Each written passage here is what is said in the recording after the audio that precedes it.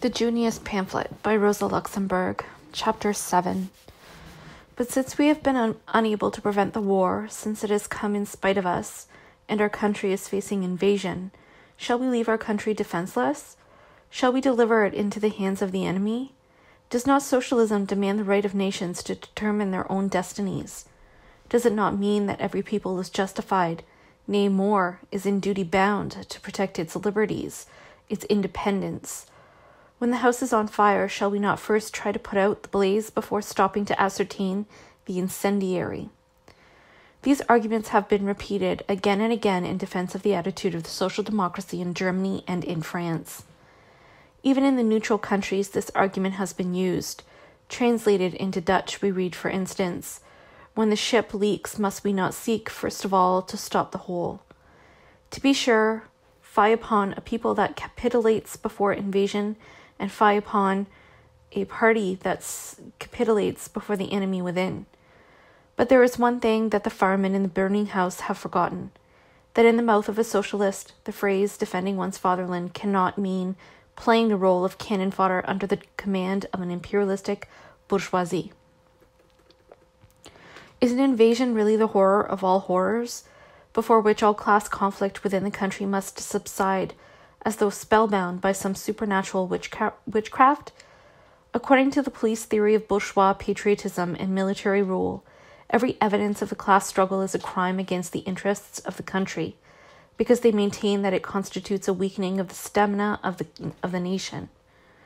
The, so, the social democracy has allowed itself to be perverted into the same distorted point of view. Has not the history of modern capitalist society shown that in the eyes of capitalist society, Foreign invasion is by no means the unmitigated terror as it is generally painted, that on the contrary, it is a measure to which the bourgeoisie has frequently and gladly resorted as an effective weapon against the enemy within? Did not the Bourbons and the aristocrats of France invite foreign invasion against the Jacobins? Did not the Austrian counter revolution in 1849 call out the French invaders against Rome, the Russian against Budapest?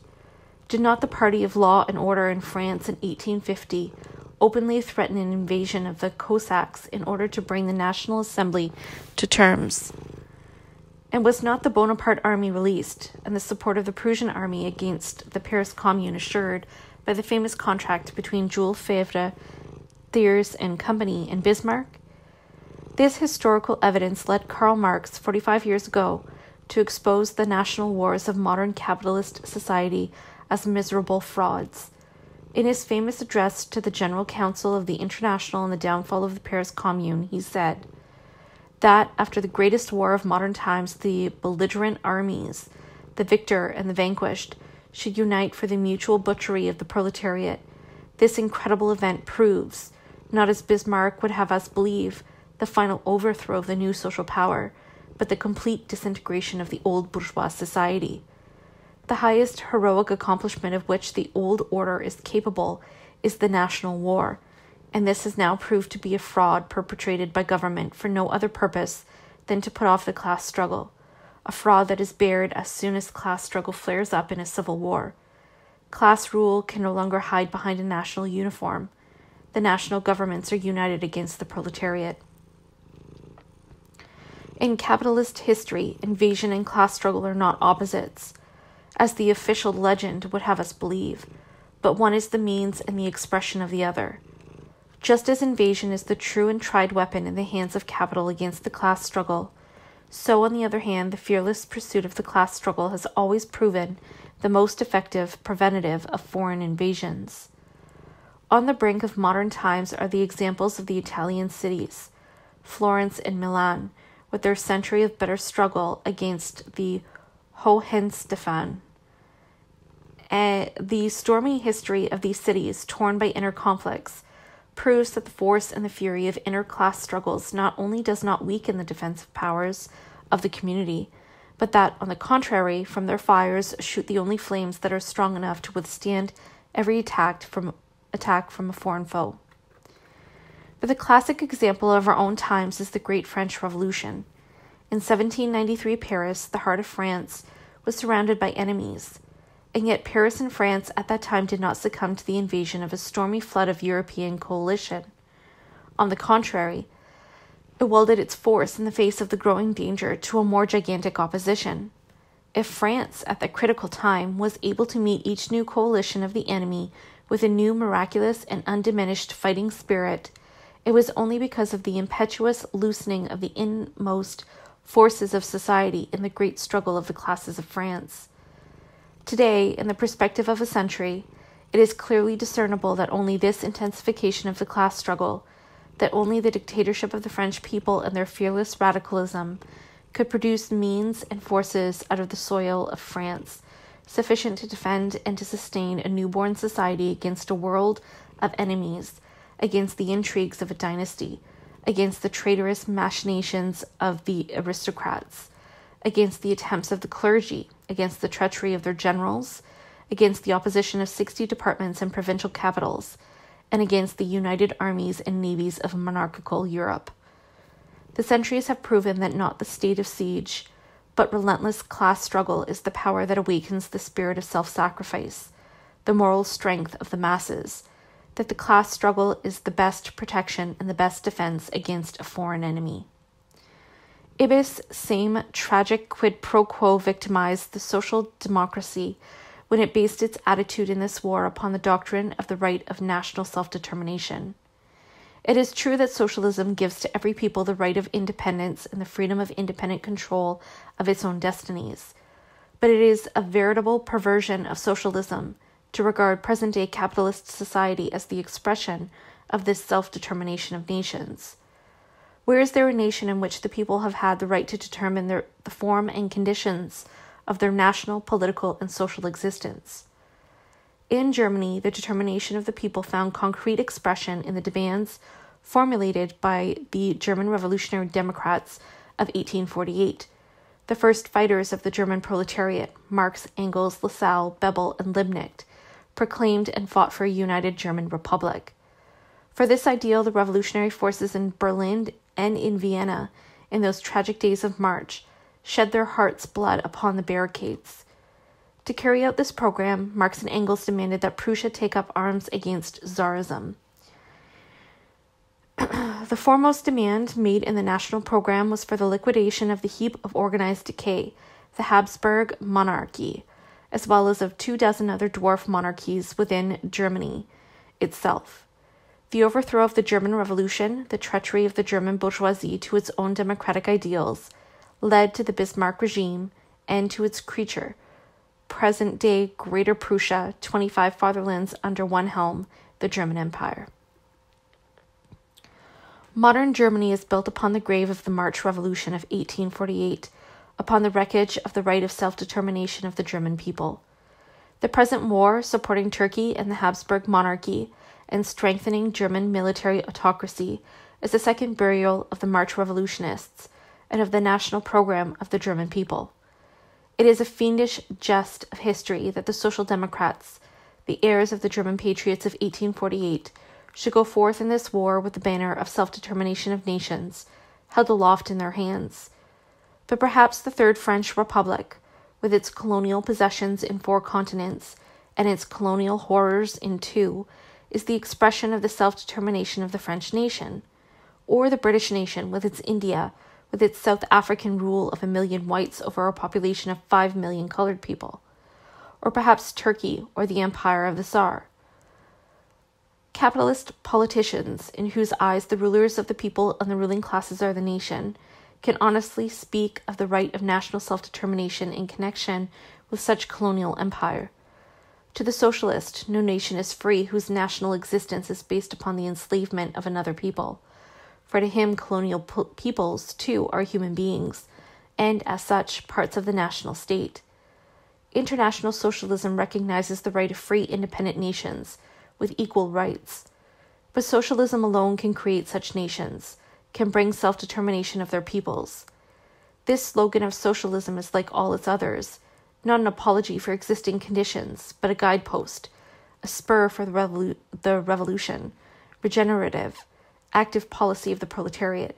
So long as capitalist states exist, i.e., so long as imperialistic world policies determine and regulate the inner and the outer life of a nation, there can be no national self determination, either, either in war or in peace. In the present imperialistic milieu, there can be no wars of national self defense. Every socialist policy that depends upon this determining historic milieu, that is willing to fix its policies in the world whirlpool from the point of view of a single nation, is built upon a foundation of sand. We have already attempted to show the background for the present conflict between Germany and her opponents.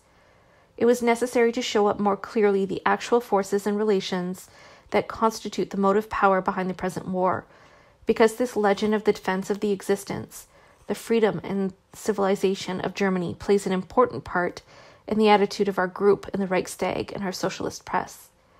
Against this legend, historical truth must be emphasized to show that this is a war that has been prepared by German militarism and its world political ideas for years, that it was brought about in the summer of 1914 by Austrian and German diplomacy with a full realization of its import. In a discussion of the general causes of the war and of its significance, the question of the guilty party is completely beside the issue. Germany certainly has not the right to speak of a war of defense, but France and England have little more justification. They too are protecting not their national but their world political existence, their old imperialistic possessions from the attacks of the German upstart. Doubtless the raids of German and Austrian imperialism in the Orient started the conflagration, but French imperialism, by devouring Morocco, and English imperialism in its attempt to rape Mesopotamia, and all the other measures that were calculated to secure its rule of force in India, Russia's Baltic policies aiming toward Constantinople, all of these factors have carried together and piled up, brand for brand, the firewood that feeds the conflagration. If capitalist armaments have played an important role as the mainspring that times the outbreak of the catastrophe, it was a competition of armaments in all nations and if Germany laid the cornerstone for European competitive armaments by Bismarck's policy of 1870, this policy was furthered by that of the Second Empire and by the military colonial policies of the Third Empire, by its expansions in East Asia and in Africa. The French socialists have some slight foundation for the illusion of national defense, because neither the French government nor the French people entertained the slightest warlike desires in July 1914. Today, everyone in France is honestly, uprightly, and without reservation for peace, insisted Jaurès in the last speech of his life on the eve of the war when he addressed a meeting in the People's House in Brussels. This was absolutely true and gives the psychological explanation for the indignation of the French socialists when this criminal war was forced upon their country. But this fact was not sufficient to determine the socialist attitude on the World War as a historic occurrence. The events that bore the present war did not begin in July 1914, but reach back for decades. Thread by thread, they have been woven together on the loom of an inexorable natural development until the firm net of imperialist world politics has encircled five continents. It is a huge historical complex of events whose roots reach deep down into the plutonic deeps of economic creation, whose outermost branches spread out and point away into a dimly dawning new world. Events before whose all embracing immensity, the consumption of guilt and retribution, of defense and offense, sink into pale nothingness. Imperialism is not the creation of any one or any or of any group of states. It is the product of a particular stage of ripeness in the world development of capital an innately international condition, an indivisible whole that is recognizable only in all its relations, and from which no nation can hold aloof at will. From this point of view, only is, is it possible to understand correctly the question of national defense in the present war. The national state, national unity, and independence were the ideological shield under which the capitalist nations of Central Europe constituted themselves in the past century. Capitalism is incompatible with economic and political divisions, with the accompanying, accompanying splitting up into small states. It needs for its development large united territories and a state of mental and intellectual development in the nation that will lift the demands and needs of society to a plane corresponding to the prevailing stage of capitalist production and to the mechanism of modern capitalist class rule. Before capitalism could develop, it sought to create for itself a territory sharply defined by national limitations. This program was carried out only in France at the time of the Great Revolution, From the national and political heritage left to Europe by the feudal Middle Ages, this could be accomplished only by revolutionary measures. In the rest of Europe, this nationalization, like the revolutionary movement as a whole, remained the patchwork of half kept promises. The German Empire, modern Italy, Austria Hungary, and Turkey, the Russian Empire, and the British World Empire are all living proofs of this fact. The national program could play a historic role only so long as it represented the ideological expression of a growing bourgeoisie, lusting for power until it had fastened, fastened its class rule in some way or other upon the great nations of Central Europe and had created within them the necessary tools and conditions of its growth. Since then, imperialism has buried the old bourgeois democratic program completely by substituting expansionist activity irrespective of national relationships for the original program of the bourgeoisie in all nations. The national phase, to be sure, has been preserved, but its real content, its function, has been perverted into its very opposite. Today, the nation is but a cloak that covers imperialistic desires, a battle cry for imperialistic rivalries, the last uh, ideological measure with which the masses can be persuaded to play the role of cannon fodder in imperialistic wars. This general tendency of present day capitalist policies determines the policies of the individual states as their supreme, blindly operating law, just as the laws of economic competition determine the conditions under which the individual manufacturer shall produce. Let us assume for a moment, for the sake of argument, for the purpose of investigating this phantom of national wars that controls social democratic politics at the present time, that in one of the belligerent states, the war at its outbreak was, sure, was purely one of national defense. Military success would immediately demand the occupation of foreign territory. But the existence of influential capitalist groups interested in imperialistic annexations will awaken expansionist appetites as the war goes on. The imperialistic tendency that, at the beginning of hostilities, may have been existent only in embryo, will shoot up and expand in the hothouse atmosphere of war until they will, they will in a short time determine its character, its aims, and its results.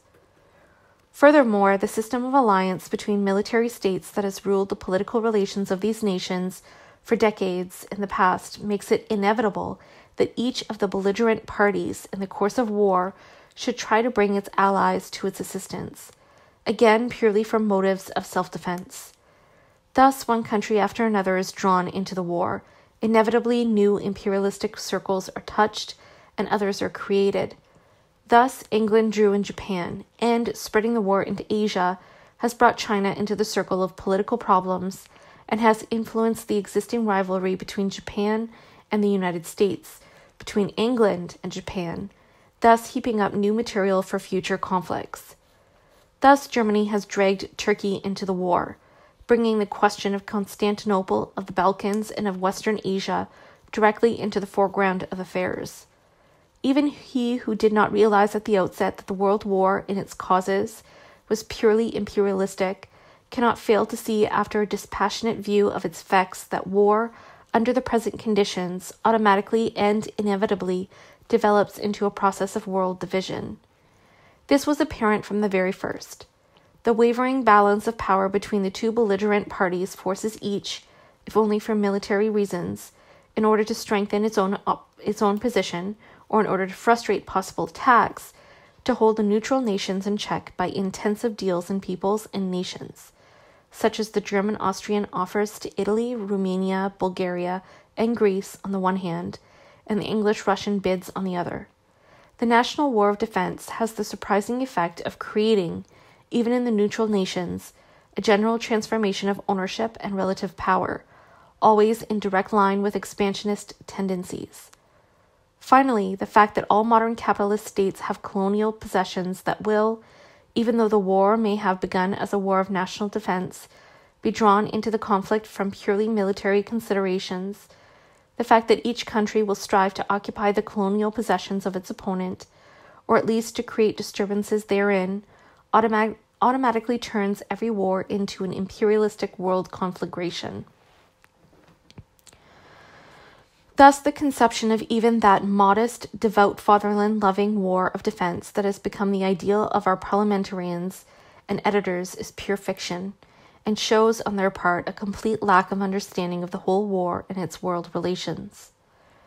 The character of the war is determined not by solemn declaration, not even by the honest intentions of leading politicians, but by the momentary configuration of, so- of society and its military organizations. At the first glance, the term National War of Defense might seem applicable in the case of a country like Switzerland. But Switzerland is no national state, and therefore no object of comparison with other modern states. Its very neutral existence is a luxury of a militia, are after all only the negative fruits of a latent state of war in the surrounding great military states. It will hold this neutrality only so long as it is willing to oppose this condition. How quickly such a neutral state is crushed by the military heel of imperialism in a world war, the fate of Belgium shows. Um, this brings us to the peculiar position of the small nation. A classic example of such national wars is Serbia. If ever a state, according to formal considerations, had the right of national defense on its side, that state is Serbia. Deprived through Austrian annexations of its national unity, threatened by Austria in its very existence as a nation, forced by Austria into war, it is fighting, according to all human conceptions, for existence, for freedom, and for the civilization of its people. But if the Social Democratic group is right in its position, then the Serbian Social Democrats who protested against the war in the parliament at Belgrade and refused to vote war credits are actually traitors to the most vital interests of their own nation. In reality, the Serbian socialists Lapcevic and Kaclerovic have not only enrolled their names in letters of gold in the annals of international socialist movement, but have shown a clear historical conception of the real causes of the war. In voting against war credits, they therefore have done their country the best possible service. Serbia is formally engaged in a national war of defense, but its monarchy and its ruling classes are filled with expansionist desires, as are the ruling classes in all modern states. They are indifferent to ethnic lines, and thus their warfare assumes an aggressive character. Thus, Serbia is today reaching out towards the Adriatic coast, where it is fighting out a real imperialistic conflict with Italy on the backs of the Albanians, a conflict whose final outcome will be decided not by either of the powers directly interested, but by the great powers that will speak the last word on terms of peace. But of all the but but above all this, we must not forget. Behind Serbian nationalism stands Russian imperialism.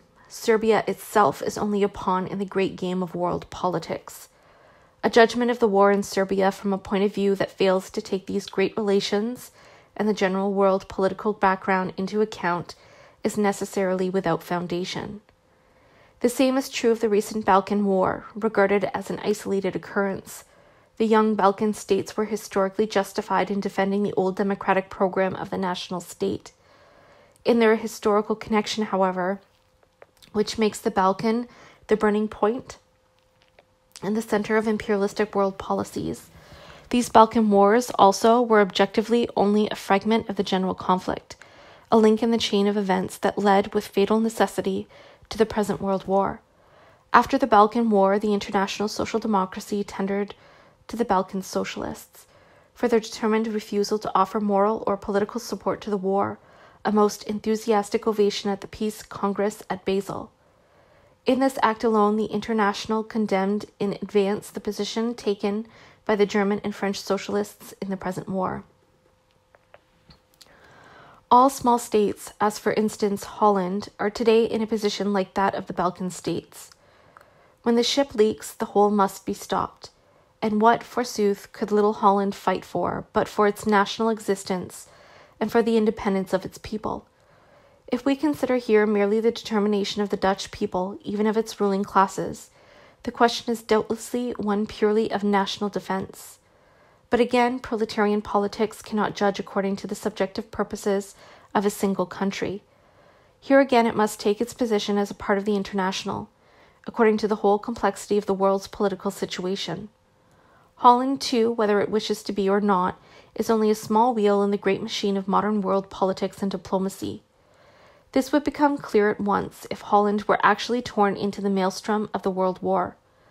Its opponents would direct their attacks against its colonies Automatically, Dutch warfare would turn to the defense of its present possessions. The defense of the national independence of the Dutch people on the North Sea would expand concretely to the defense of its rule and right of exploitation over the Malays in the East Indian archipelago. I can't pronounce that word. But not enough. Dutch militar- militarism, if forced to rely upon itself, would be crushed like a nutshell in the whirlpool of the World War. Whether it wished or not, it would become a member of one of the great national alliances. On one side or the other, it must be the bearer and the tool of purely imperialistic tendencies. Thus, it is always the historic milieu of modern imperialism that determines the character of the war in the individual countries, and this milieu makes a war of national self defense impossible. Kautsky also expressed this only a few years ago in his pamphlet Patriotism and Social Democracy, Leipzig, 1907, pages 12 to 14. Though the patriotism of the bourgeoisie and of the proletariat are two entirely different, actually opposite phenomena, there are situations in which both kinds of patriotism may join forces for united action, even in times of war. The bourgeoisie and the proletariat of a nation are equally interested in their national independence and self determination, in the removal of all kinds of oppression and exploitation at the hands of a foreign nation. In the national conflicts that have sprung from such attempts, the patriotism of the proletariat has always united with, with that of the bourgeoisie. But the proletariat has become power that may become dangerous to the ruling classes at every great national upheaval. Revolution looms dark at the end of every war, as the Paris Commune of 1871 and Russian terrorism after the Russo Japanese War have proven. In view of this, the bourgeoisie of those nations which are not sufficiently united have actually sacrificed their national aims where these can be maintained only at the expense of the government, for they hate and fear the revolution even more than they love national independence and greatness. For this reason, the bourgeoisie sacrifices the independence of Poland and permits ancient constellations like Austria and Turkey to remain in existence, though they have been doomed to destruction for more than a generation. National struggles as the bringers of revolution have ceased in civilized Europe. National problems that today can be solved only by war or revolution will be solved in the future only by the victory of the proletariat. But then, thanks to international solidarity, they will at once assume a form entirely different from that which prevails today in a social state of exploitation and, oppre- and oppression. In capitalist states, this problem needs no longer to trouble the proletariat in its practical struggles. It must divert its whole strength to other problems. Meanwhile, the likelihood that proletarian and bourgeois patriotism will unite to protect the liberty of the people is becoming more and more rare. Kautsky then goes on to say that the French bourgeoisie has united with Tsarism, that Russia has ceased to be a danger for Western Europe, because it has been weakened by the revolution. Under these circumstances, a war in, in defense of national liberty, in which bourgeois and proletarian may unite, is nowhere to be expected. We have already seen that conflicts, which in the 19th century might still have led some liberty loving peoples to oppose their neighbors by warfare, have ceased to exist. We have seen that modern militarism nowhere aims to defend important popular rights, but everywhere strives to support profits. Its activities are dedicated not to assure the independence and invulnerabil- invulnerability of its own nationality, that is nowhere threatened, but to the assurance and the extension of overseas conquests that again only serve the engra- uh, aggrandizement of capitalist profits. At the present time, the conflicts between states can bring no war that proletarian interests would not, as a matter of duty, energetically oppose. In view of all these considerations, what shall be the practical attitude of the social democracy in the present war? Shall it declare, since this is an imperialist war, since we do not enjoy in our country and socialist self determination, its existence or non existence is of no consequence to us, and we will surrender it to the enemy. Passive fatalism can never be the role of a revolutionary party like the social democracy.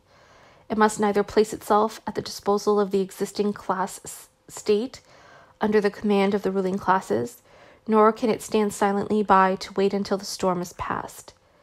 It must adopt a policy of active class politics, a policy that will whip the ruling classes forward in every great social crisis, and that will drive the crisis itself far beyond its original extent.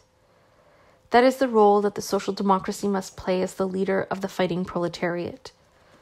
Instead of covering this imperialist war with a lying mantle of national self defense, the social democracy should have demanded the right of national determination seriously, should have used it as a lever against the imperialist war. The most elementary demand of national defense is that the nation takes its defense into its own hands. The first step in this direction is the militia, not only the immediate armament of the entire adult male populace, but above all, popular decision in all questions of peace and war. It must demand, furthermore, the immediate removal of every form of political oppression, since the greatest political freedom is the best basis for national defense. To proclaim these fundamental measures of national defense, to demand their realization, that was the first duty of the social democracy. For forty years, we have tried to prove to the ruling classes as well as to the masses of the people that only the militia is really able to defend the fatherland and to make it invincible. And yet, when the first test came, we turned over the defense of our country, as a matter of course, into the hands of the standing army to be the cannon fodder under the club of the ruling classes.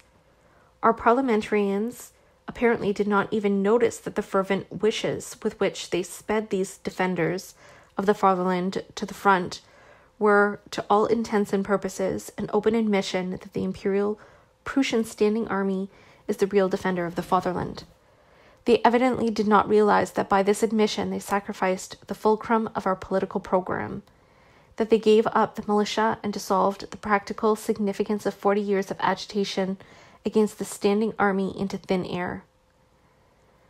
By the act of the Social Democratic group, our military program became a utopian doctrine, a doctrinaire obsession that none could possibly take seriously. The masters of the international proletariat saw the idea of the defense of the fatherland in a different light. When the proletariat of Paris, surrounded by Prussians in 1871, took the reins of the government into its own hands, Marx wrote enthusiastically Paris, the center and seat of the old government powers, and simultaneously the social center of gravity of the French working class, Paris has risen in arms against the attempt of Monsieur Thiers and his Junkers to reinstate and perpetuate the government of the old powers of imperial rule. Paris was in a position to resist only because, through a state of siege, it was rid of its army, because in its place there had been put a national guard composed chiefly of working men. It was necessary that this innovation be made a permanent institution. The first act of the Commune was, therefore, the suppression of the standing army and the substitution of an armed people. If now the Commune was the true representative of all healthy elements of French society, and therefore a true national government, it was likewise as a proletarian government, as a daring fighter for the liberation of labor, international in the truest sense of that word. Under the eyes of the Prussian army, which has annexed two French provinces to Germany, the Commune has annexed the marks are the workers of a whole world to France. But what did our masters say concerning the role to be played by the social democracy in the present war? In 1892, Frederick Engels expressed the following opinion concerning the fundamental lines along which the attitude of proletarian parties in a great war should follow. A war in the course of which Russians and Frenchmen should invade Germany would mean for the latter a life and death struggle. Under such circumstances, it could assure its national existence only by using the most revolutionary methods. The present government, should it not be forced to do so, will certainly not bring on the revolution, but we have a strong party that may force its hand, or that should, or that, should it be necessary, can replace it, the Social Democratic Party. We have not forgotten the glorious example of France in 1793. The 100th anniversary of 1793 is approaching. Should Russia's desire for conquest or the chauvinistic impatience of the French bourgeoisie check the victorious but peaceable march of the German socialists, the latter are prepared, be assured of that, to prove to the world that the German proletarians of today are not unworthy of the French sans-culotte, that 1893 will be worthy of 1793. And should the soldiers of Monsieur Constans set foot upon German territory, we will meet them with the words of the Marseillaise shall hateful tyrants, mischief breeding, with hireling host a ruffian band, affright and desolate the land. In short, peace assures the victory of the Social Democratic Party in about 10 years. The war will bring either victory in two or three years or its absolute ruin for at least 15 or 20 years. When Engels wrote these words, he had in mind a situation entirely different from the one existing today. In his mind's eye, ancient Tsarism still loomed threateningly in the background. We have already seen the Great Russian Revolution. He thought, furthermore, of a real national war of defense, of a Germany attacked on two sides, on the east and on the west by two enemy forces. Finally, he overestimated the ripeness of conditions in Germany and the likelihood of a social revolution, as all true fighters are wont to overrate the real tempo of development. But for all that, his sentences prove with remarkable clearness that Engels meant by national defense, in the sense of, so- of the social democracy, not the support of a Prussian Junker military government and its general stab, but a revolutionary action after the example of the French Jacobins. Yes, socialists should defend their country in great historical crises, and here lies the great fault of the German Social Democratic Reichstag group. When it announced on the 4th of August, in this hour of danger we will not desert our fatherland, it denied its own words in the same breath. For truly it has deserted its fatherland in its hour of greatest danger. The highest duty of the social democracy toward its fatherland demanded that it expose the real background of this imperialist war, that it rend the net of imperialist and diplomatic ties that covers the eyes of the people. It was their duty to speak loudly and clearly to proclaim to the people of Germany that in this war victory and defeat would be equally fatal, to oppose the gagging of the fatherland by state of siege, to demand that the people alone decide on war and peace, to demand a permanent session of Parliament for the period of the war, to assume a watchful control over the government by Parliament and over Parliament by the people, to demand the immediate removal of all political inequalities, since only a free people can adequately govern its country and finally to oppose the imperialist war, based as it was upon the most reactionary forces in Europe, the program of Marx, of Engels, and Lassalle. That was the flag that should have waved over the country. That would have been truly national, truly free, in harmony with the best traditions, traditions of Germany and the international class policy of the proletariat. The great historical hour of the World War obviously demanded unanimous political accomplishment a broad minded, comprehensive attitude that only the social democracy is destined to give. Instead, there followed, on the part of the parliamentary representatives of the working class, a miserable collapse. The social democracy did not adopt the wrong policy, it had no policy whatsoever. It has wiped itself out completely as a class party with a world conception of its own, has delivered the country without a word of protest to the fate of imperialist war without to the dictatorship of the sword within. Nay, more, it has taken the responsibility for the war upon its own shoulders. The declaration of the Reichstag Group says, We have voted only the means for our country's defense. We decline all responsibility for the war. But as a matter of fact, the truth lies in exactly the opposite direction. The means for national defense, i.e., for imperialistic mass butchery by the armed forces of the military monarchy, were not voted by the social democracy. For the availability of the war credits did not in the least depend upon the social democracy. They, as a minority, stood against a compact three quarters majority of the capitalist Reichstag. The Social Democratic group accomplished only one thing by voting in favor of the war credits. Placed upon the war the stamp of democratic fatherland defense and supported and sustained the fictions that were propagated by the government concerning the actual conditions and problems of the war. Thus, the serious dilemma between the national interests and international solidarity of the proletariat the tragic conflict that made our parliamentarians fall with heavy heart to the side of imperialistic warfare was a mere figment of the imagination, a bourgeois nationalist fiction. Between the national interests and the class interests of the proletariat, in war and in peace, there is actually complete harmony. Both demand the most energetic prosecution of the class struggle and the most determined insistence on the social democratic program. But what action should the party have taken to give to our opposition to the war and to our war demands weight and emphasis? Should it have proclaimed a general strike? Should it have called upon the soldiers to refuse military service? Thus, the question is generally asked. To answer with a simple yes or no, we're just no, we're just as ridiculous as to decide when war breaks out, we will start a revolution. Revolutions are not made, and great movements of the people are not produced according to technical recipes that repose in the pockets of the party leaders.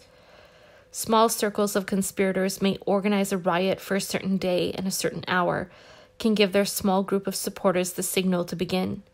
Mass movements in great historical crises cannot be initiated by such primitive measures. The best prepared mass strike may break down miserably at the very moment when the party leaders give the signal may collapse completely before the first attack. The success of the great popular movements depends, I, the very time and circumstance of their inception is decided by a number of economic, political, and psychological factors.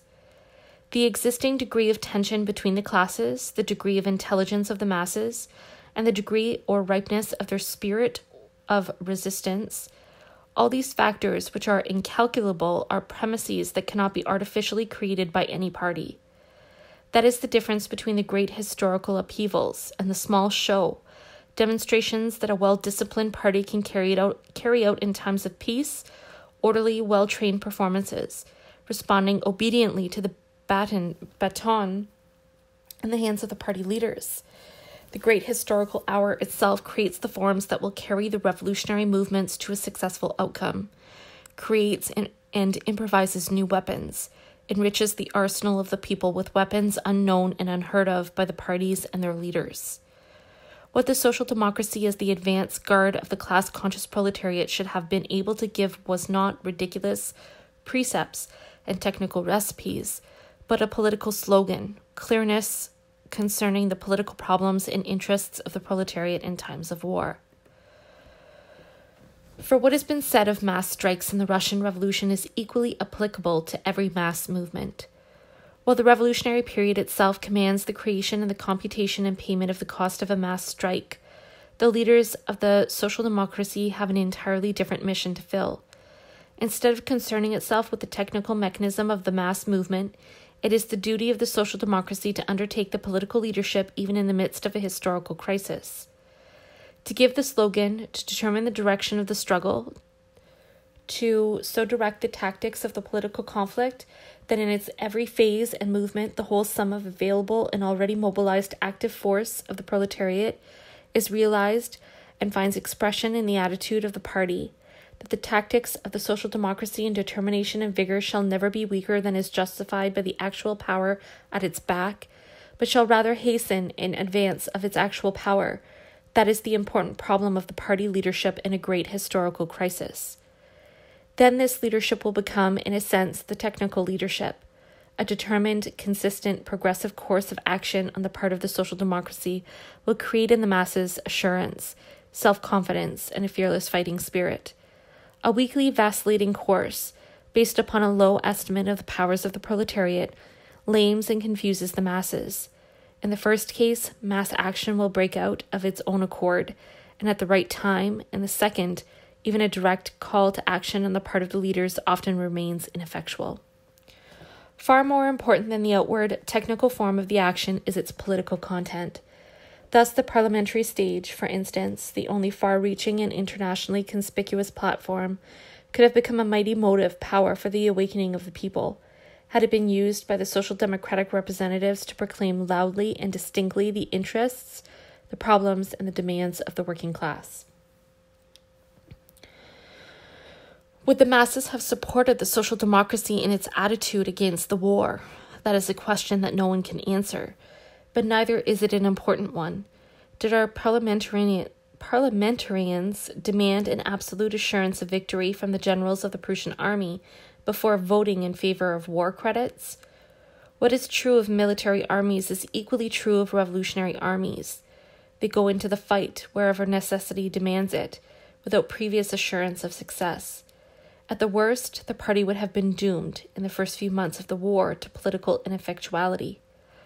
Perhaps the bitterest persecutions would have been inflicted upon our party for its manly state, or manly stand, as they were in 1870, the reward of Liebknecht and Bebel. But what does that matter?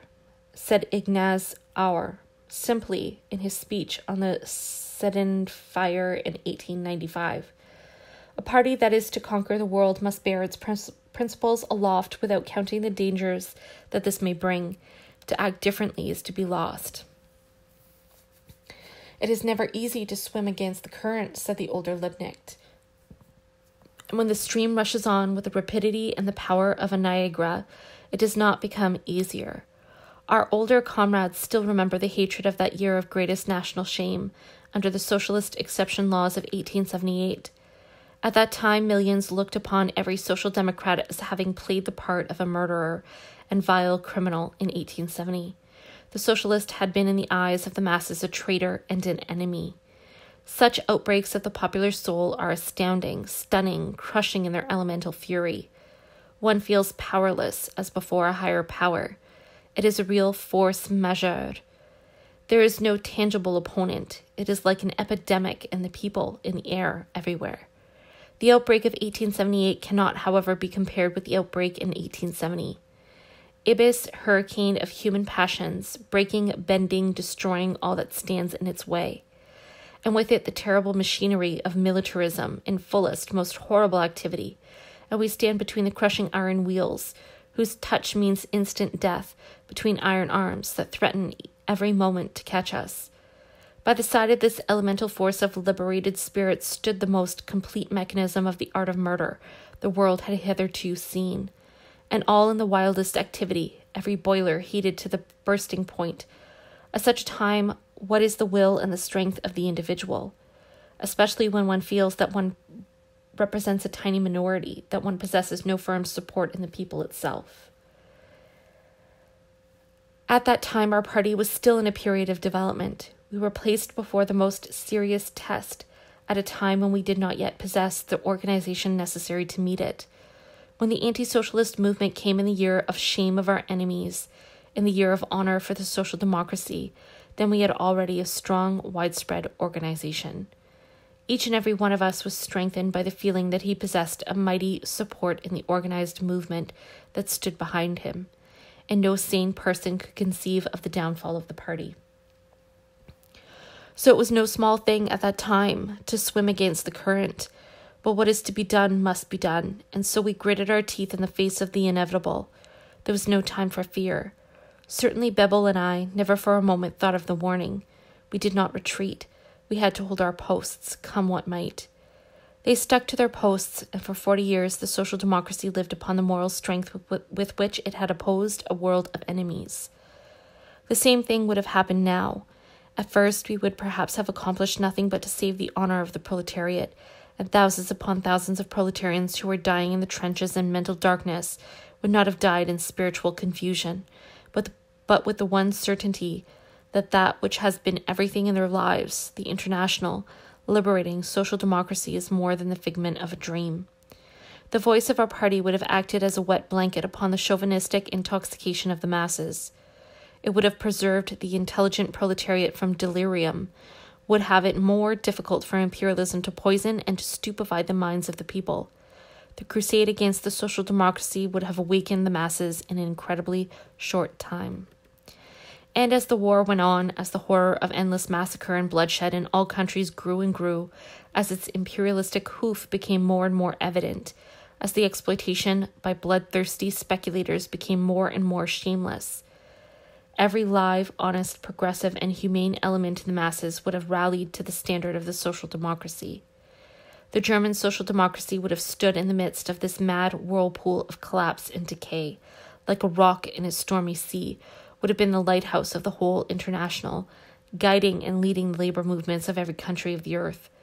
The unparalleled moral prestige that lay in the hands of the German socialists would have reacted upon the socialists of all nations in a very short time. Peace sentiments would have spread like wildfire, and the popular demands for peace in all countries would have hastened the end of the slaughter, would have decreased the number of its victims. The German proletariat would have remained the lighthouse keeper of socialism and of human emancipation. Truly, this was a task not unworthy of the disciples of Marx, Engels, and Lassalle.